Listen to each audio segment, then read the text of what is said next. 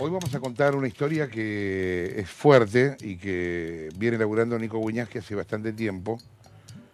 ¿Podemos decir que vamos a contar quién es el testaferro de Vudú? Todo parece indicar que sí. El testaferro de Vudú, vos, me entendés lo que estamos diciendo, o sea, Vudú, aparte de cantante y de DJ, es el vicepresidente de la Nación. Vos me estás diciendo que el vicepresidente de la Nación tiene un testaferro. Al menos tiene una persona muy amiga de él, eh, con la que compartió muchas cosas en la adolescencia, que está al frente de una nueva empresa que puede generar negocios multimillonarios. Y él, y él además accionó para que esa persona que es amigo de él haya estado en esa empresa, así que... A ver, mira, la noticia es esta. Un señor que es monotributista categoría B, o sea que no tiene mucho dinero, ¿no? ¿Vos sos monotributista? Por supuesto. Nunca pasé yo soy de gran contribuyente, mirá qué pelotudo que soy. Gran contribuyente. Me siento un boludo. Cada vez que la, FIP me manda gran contribuyente, yo pienso, no puede ser, soy el nabo del año. Bueno, un monotributista categoría B, escucha esto, muy vinculado al vicepresidente de la Nación, se quedó con el control de Chicone Calcográfica. ¿Sabés qué es Chicone Calcográfica? Es la única imprenta fuera de la Casa de la Moneda capaz de imprimir billetes. No solo billetes, billetes, acciones, cheques, patentes de los coches. Es una empresa que ahora está quebrada y justamente lo que se discute es quién tomaba la empresa después de la quiebra. Manejaba, hasta antes de quebrar, 200 millones de dólares por año. Bueno, parece que Vudú hizo lo posible para que uno de sus amigos fuera quien se quedara con esta imprenta, con la única capaz de hacer billetes. ¿Quién es? ¿Una persona del campo de la gráfica, de la impresión, del mundo financiero, del económico? No. Es un ejemplo de ascendencia social del kirchnerismo, un monotributista. Así empezó esta historia en, en 2012. Vamos a tratar de reconstruir cómo se fueron agregando personajes a esta historia, pero hay algo que ahora se va a transformar en lo más importante, no ahora, en los próximos meses, en una de las cosas más importantes de la causa y que es un nombre que hasta ahora no aparece tan vinculado al caso, que es Néstor Kirchner. Exactamente. empecemos con Néstor, con todo respeto, venga para acá. Eh, bueno, acá lo tenemos a Néstor. El billete de Néstor.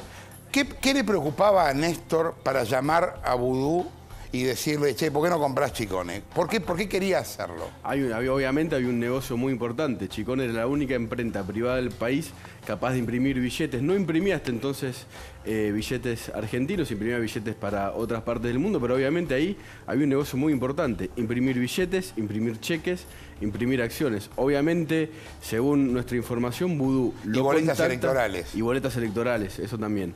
Eh, Vudú lo contacta a Néstor Kirchner un viernes en la Quinta de Olivos después de jugar al fútbol y le dice, Chicón está quebrada, me vinieron a ver y ahí empieza Ah, o sea que esto empieza cuando Vudú se comunica con Néstor. Venga para acá, Amado. ¿Sacamos a Néstor? Ok. No, déjalo, déjalo, ah, Uno al lado del otro ahí. Lo ponemos como el nacimiento. Sí. Ok. Obviamente Vudú es la persona que contacta a la familia Chicón diciéndole tenemos problemas con la empresa, ayúdennos. Era, era, en ese momento el ministro de Economía. Vudú en forma personal negocia con los Chicones la venta de su empresa y quien la compra, un fondo que se llama The Old Found. Ese fondo, según el juez Lijo, era propiedad de Amado Vudú y de su socio José María Núñez Carmona. Núñez Carmona, que le dicen Nariga, que es este, ¿no? No, este. No, el otro. Es... Este, claro, Nariga, acá lo tenés. Lo voy a correr a Néstor acá. Bueno, pongámoslo a Néstor atrás como autor ideológico y amigo, bueno, ya veremos. José María Núñez Carmona. Ahí está Núñez Carmona, Nariga Núñez Carmona, un tipo de la banda de Mar del Plata, de Amado. Era un hombre de clase media de Playa Grande, Mar del Plata, hoy es millonario, según consta en el expediente judicial. Es el nexo entre la familia Chicone eh, y Amado Vudú. Vudú se reúne con los dos fundadores de la empresa, Héctor y Nicolás Chicone, y le dicen, hablar con Núñez Carmona es, como hablar conmigo, y según la justicia, es Núñez Carmona el que lidera la compra Perdón, cuando, de la empresa. cuando se reúne con, con Núñez Carmona es cuando se reúne en Telefe, que se encuentra en ese ratito. Primero en Telefe. Eh, o sea, una presentación informal como diciendo, a partir de ahora hablas con este que es el que habla en mi nombre, sí, se reúne, Carmona. En Telefe se reúne con Nicolás Chicone, Vudú y Núñez Carmona, y después como eh, Nicolás tenía que convencer a Héctor Chicone también de la venta de la empresa familiar, una empresa que eh, ellos mantuvieron durante medio siglo, se vuelven a reunir en, Madero, en, en, Puerto Madero, en el bar e Fresh Market, y ahí Núñez Carmona y Vudú de vuelta están con los dos hermanos Chicone. ¿Y estaba este en esa reunión? Vandenbrule no estaba en la reunión, pero obviamente es el gran personaje El famoso Vandenbrule. Este es el que nunca se conoció con este. nunca se conoció con este, pero vivía en el departamento de este. Fíjate qué cosa curiosa. Incluso las expensas y el cable del departamento de él estaban a nombre de él. No, las pagaba. Una cosa rara, ¿no? Las pagaba él y esto también consta en el expediente judicial. Vandenbrule llamaba todo el tiempo a Núñez Carmona, los llamados eran cotidianos durante la negociación de, la compra de Chicone. ¿Por qué? Porque Vandenbrue era el director de The Old Found, esta sociedad que se quedó con Chicone Calcográfica y que además había tenido un negocio anterior vinculada, eh, vinculado a Amado Vudú y a Núñez Carmona. Renegoció, asesoró a la provincia de Formosa, una provincia muy pobre, para que renegocie su deuda con su deuda pública. Eran 300 millones de pesos. Contrataron a Old Found, a Vandenbrule. ¿The Old Found? Pará, va de nuevo. Había una deuda pública en Formosa, ¿de cuánto? 329 millones de pesos. Y Formosa tenía que... De, con en la Argentina, o sea, con... Con, con Amado por el billete de Amado. O sea, una deuda de Formosa para la Nación. Con la Nación, sí. ¿Qué hacen? Entonces, ¿escuchás esto? Una provincia contrata una consultora privada para negociar la deuda con la Nación. Cuando vos podés llamar por teléfono y hablar con el ministro de Economía y tratar de ver cómo carajo garpar la deuda, no necesitas una consultora privada. Es mucho peor que eso, no era una consultora, era solamente una sociedad. ¿Qué antecedentes tenía, este para negociar absolutamente ninguno. Le hace la factura 0001 de All Found. ¿Me entendés lo que te digo? El primer negocio de All Found es renegociar la deuda de Formosa. Pero es peor, no tenía un solo empleado, una secretaria. Vandenbrule, ningún antecedente del mercado gráfico le hace efectivamente la primera factura. ¿Cuánto cobra The Old Found por eh, hacer el trabajo? 7,6 millones de pesos. ¿Qué pasa el día, el 21 de mayo del 2010, cuando la provincia de Formosa deposita la plata en The Old Found? Núñez Carmona llama tres veces a Alejandro Vandenbrule.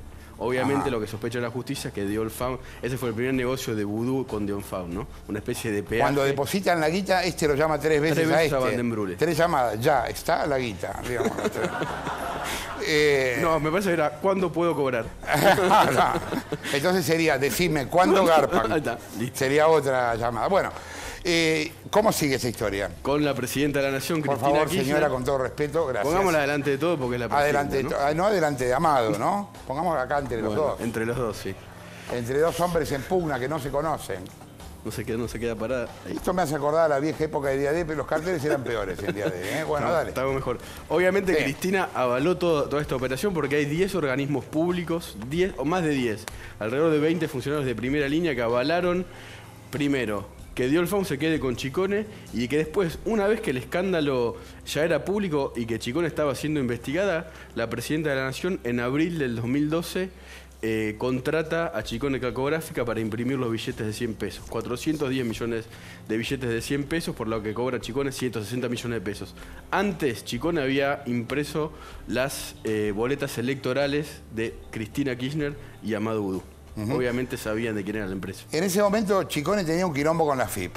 Una deuda. Muy importante. ¿De cuánto? De alrededor de 270 millones de pesos. Ellos no podían comprar chicones si no hacían algo con esa deuda. Exactamente. Primero, la FIP le pide la quiebra a Chicone, que es un caso inusual. La FIP nunca pide la quiebra de una empresa privada, pero inmediatamente después, cuando Néstor y Vudú se interesan por Chicone, le dicen a Chegaray, le pediste la quiebra, tenemos que entrar nosotros. La empresa la tenía Volt levantale la quiebra. Echegaray levanta la quiebra y ahí se presenta Diol Faun y se queda con Chicón, efectivamente. Echegaray no está implicado en esta causa por Está implicado, está imputado. Eh, por lo que dejó trascender el juez Lijo en su escrito en el pedido de indagatoria eh, a Vudú del viernes pasado, de alguna manera lo deja de lado en esta historia y se centra en Amado Vudú.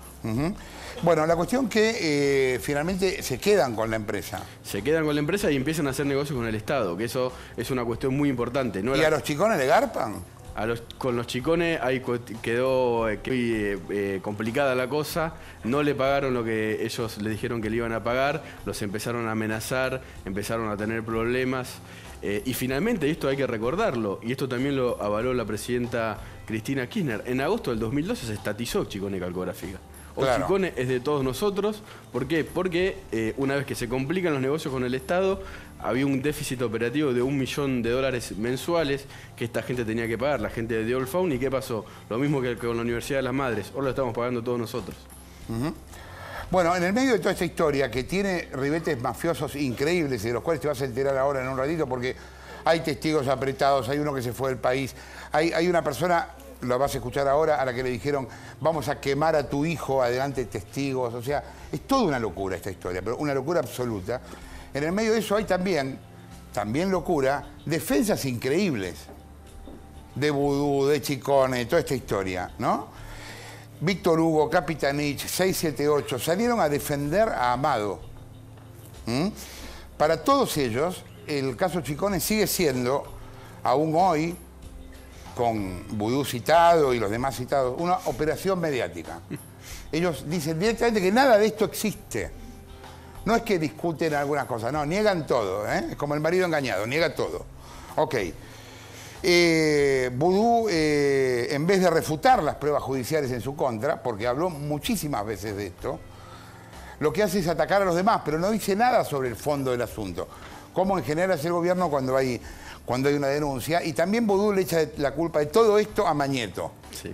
Que no ha sido citado a declarar por lo menos hasta ahora. No. la insólita defensa de Amado. Mírala.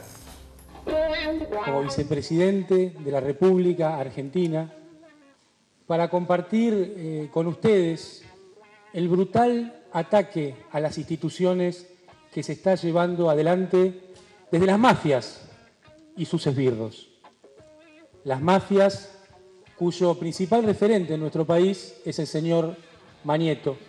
Es una mentira, entonces yo no me puedo poner a contestar una mentira en forma permanente porque sería tomar la agenda eh, que nos quieren imponer. No se está discutiendo en ningún momento el fondo de la cuestión.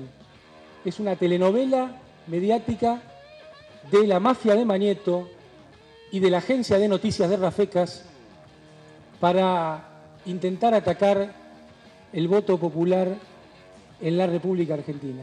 Obviamente yo no hice nada a favor de la empresa Chicone en el levantamiento de la quiebra porque yo no lo podía hacer. La impresión que yo tengo es que a la larga no van a poder mostrar nada. Lo del hijo y toda esa operación de violencia desbocada, insufrible, es la demostración de que no tienen gran cosa. Eh, tengo una pregunta, capitán. Si yo digo que la nata, el, libanés la nata, el acosador de niños la nata, el libanés la nata, el acosador de niños la nata, llamó indagatoria al, vicepresidente de la Nación. ¿Estoy mintiendo? Está aproximándose a la verdad. Se ha tratado de un fenomenal proceso eh, de operación de prensa asociado a una extorsión mediática para lograr un objetivo final. El eh, doctor Vudú, muy buenos días. Licenciado. ¿Cómo está? Bien, bien. Bueno, licenciado, no hay muchas preguntas, no vamos a analizar el caso aquí, pero me gustaría saber sus primeras reacciones frente a esto que ha ocurrido. No, de mucha tranquilidad, de saber que voy a tener una instancia formal para demostrar mi inocencia. Creo que las decisiones del juez lamentablemente tienen más que ver con la agenda mediática y con los datos que le fue tirando al diario Clarín que con la realidad de la causa. La economía argentina tiene que ser para 40 millones y no para Manieto y su clan de, de bueno, de aprovechadores de las cuestiones de los argentinos. Y como yo nunca me casé y no, yo mi compromiso es con el país, con el pueblo, con la presidenta de la nación, yo creo que me están cobrando eso.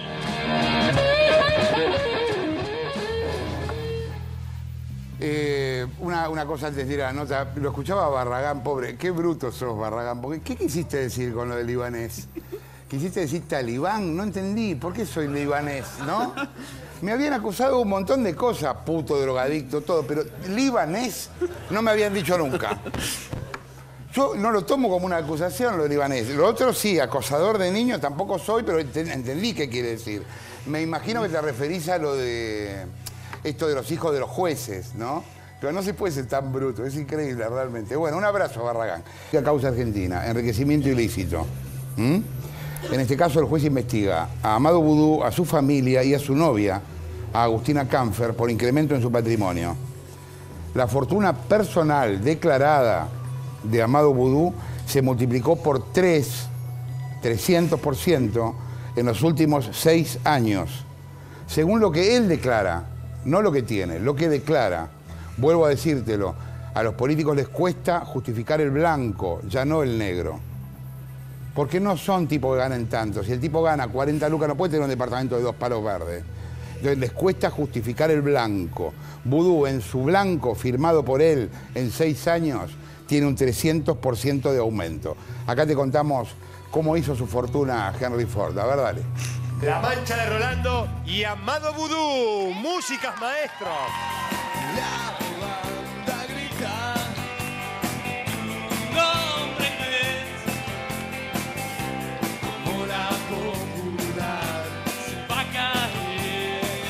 Indagatoria eh, llamada a través del juez Ariel Lijo al vicepresidente Amado Vudú. Esta llamada indagatoria tiene que ver eh, con la agenda del diario Clarín.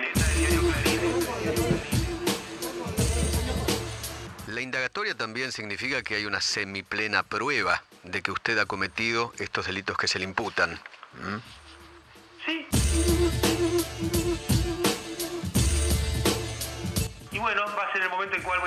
Demostrar mi inocencia. No, no hablaste con todos los medios. No me empujes, ¿eh? ¿Pensó alguna vez en pedir licencia no. mientras dure esta causa? No. Yo tengo una tarea que cumplir, que me eligieron para esa tarea. Amado Vudú, que es el hombre que me va a acompañar.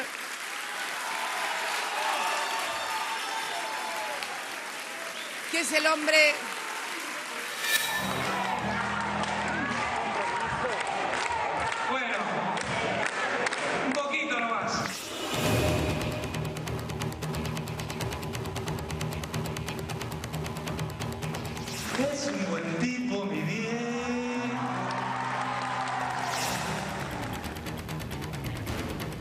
En 2006, Amado Vudú entró al ANSES como secretario general con un patrimonio de 797 mil pesos. En 2011, la fortuna de Vudú trepó a 2.157.000 pesos. O sea, aumentó un 270% en cinco años de función pública. Este es el periodo que investiga la justicia federal por enriquecimiento ilícito.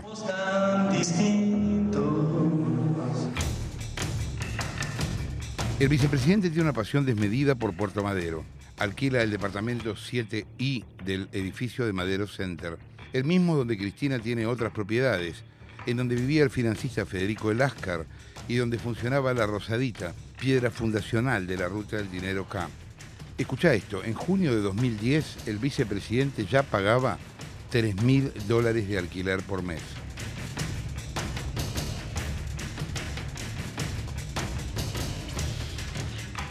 El vicepresidente de la Nación alquila, pero tiene un departamento propio en el tercer piso de las Torres Riverview, también en Puerto Madero. Lo compró en 2008 y declaró haberlo pagado 673 mil pesos. Pero no lo usaba. Entonces, ¿sabes a quién se lo alquiló? A Alejandro Van der Brule. Y esta persona, Van der Brule, que dicen que es un supuesto testaferro mío, de los papeles de la causa surge que Van der Brule no tiene ningún bien. Entonces, mal podría ser testaferro de nadie. Chicone, venís de Suiza. ¿Podemos hablar de los dueños de Chicone? ¿Quiénes son los dueños? ¿Podés contarnos? ¿Por qué no podés contar si es información de una empresa que está haciendo negocios con el Estado? ¿Tenés órdenes de, de Núñez Carmona, de Vudú, de no, de no contarnos o no darnos información? ¿No podemos hablar un segundo?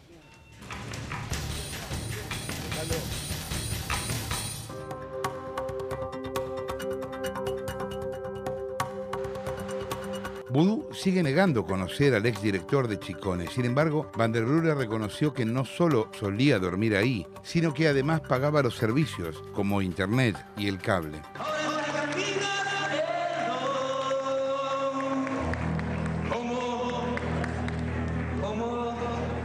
A Puerto Madero también se mudaron los padres y Juan Bautista Vudú, el hermano del vice. En 2009 compraron un departamento en el complejo Madero Baires. El lugar tiene pileta, sauna, acceso por dos calles distintas y seguridad privada las 24 horas. Los departamentos más chicos no bajan de los 400 mil dólares.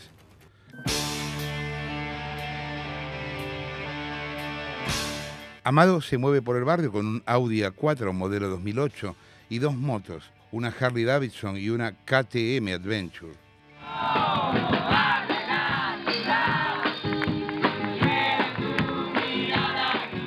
Detrás de las empresas del vicepresidente se esconden otras propiedades y negocios. En sus declaraciones juradas, él dice que es socio de dos empresas, o sea, dice, por lo menos menciona dos, que es Aspen y Hábitat Natural. ¿Esto es así? Sí, efectivamente, eh, aparece en sus declaraciones juradas eh, su participación en esas, dos sociedades, inclusive junto a Núñez Carmona. ¿Te suena José Núñez Carmona? Es el socio del vicepresidente. Su patrimonio creció a la velocidad del de Vudú. En 2007, Núñez Carmona declaraba 1.140.000 pesos. En 2011, su patrimonio llegó a 15.600.000 pesos.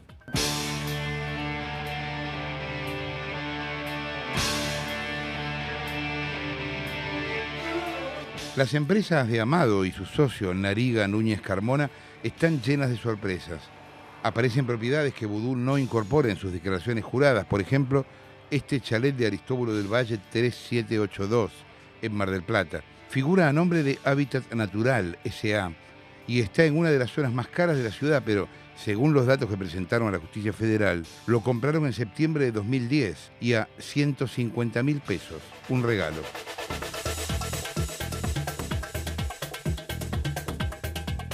Dentro de los activos de Aspen Servicios Inmobiliarios, otra de las empresas del Vice, aparece este chalet de Roca 214, también en Mar del Plata. Una antigua casa de piedra subdividida que tiene seis unidades tipo PH. Tres de esas unidades es de su empresa.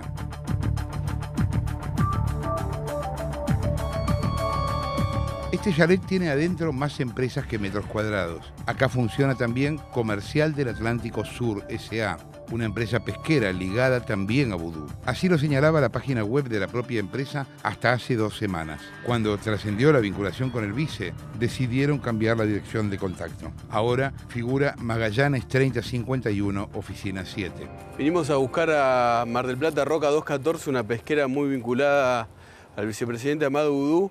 No nos atiende nadie, pero encontramos dos correos que son públicos, porque están, estaban tirados en la vereda de Inversiones Inmobiliarias Aspen es una de las empresas del vicepresidente de la República. Hay también acá una carta de la provincia de Buenos Aires a José María Núñez Carmona, que es el socio de Amada Vudú. Y también un sobre del ANSES a nombre del socio del vicepresidente Núñez Carmona.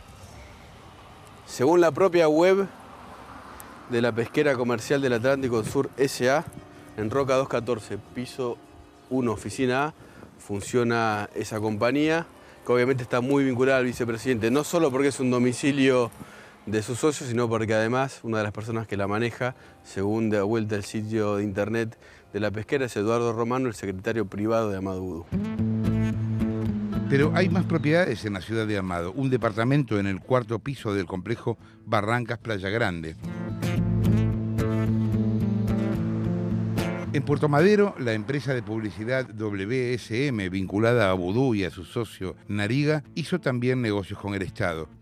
WSM habría recibido durante el año 2011 y el 2012 5 millones de pesos eh, para publicidad en cajeros automáticos de una cantidad de bancos. Nosotros consultamos con las instituciones bancarias y nos contestaron que nunca contrataron a WSM. Por aquel tema, en su momento lo consultamos al vicepresidente. Vicepresidente, bienvenido. ¿Conoce la firma WSM o a su presidente José Carlos López? ¿Lo conoce? ¿Puede compartir? Pará, pará. Veámoslo de nuevo. Vicepresidente, bienvenido. ¿Conoce la firma WSM o a su presidente José Carlos López? ¿Lo conoce? ¿Puede compartir?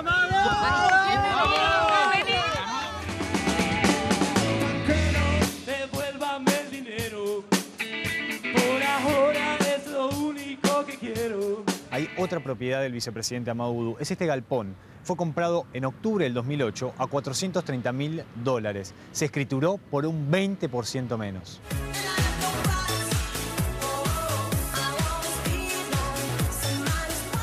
La justicia federal también investiga en San Telmo un restaurante culto en la zona, Aldos. Si bien Vudú no figura entre sus dueños, se pretende determinar si es otra inversión no declarada del vicepresidente de la Nación. También quedó bajo sospecha la adquisición de esta casona en defensa al 1300. Tiene 15 metros de frente y 70 de fondo y fue vendida a un millón de dólares a un viejo amigo de Vudú.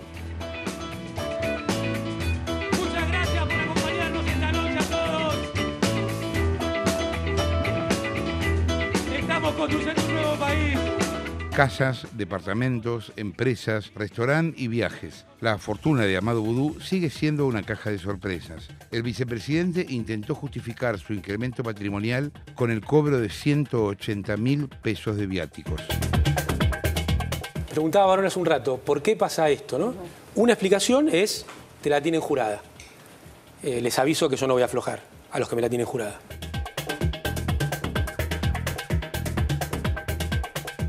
¿Jura que no cometió un acto de corrupción? Por supuesto que lo juro y lo sostengo y así lo voy a demostrar el- cuando vaya a la, a la audiencia testimonial, a la indagatoria.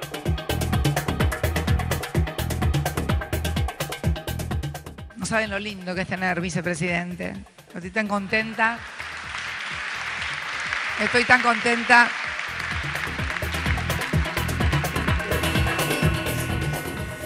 Bien, eh, cuando uno ve, por ejemplo, el patrimonio, la evolución del patrimonio de Núñez Carmona eh, y piensa en la evolución del patrimonio de Vudú, lo, lo- lo veías antes, ¿no?